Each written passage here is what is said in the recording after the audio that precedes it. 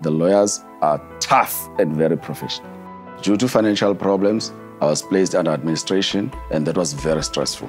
Even though I settled my debt, my administrator did not clear my name. That's when I called Clientele Legal. Clientele Legal appointed a lawyer in my area.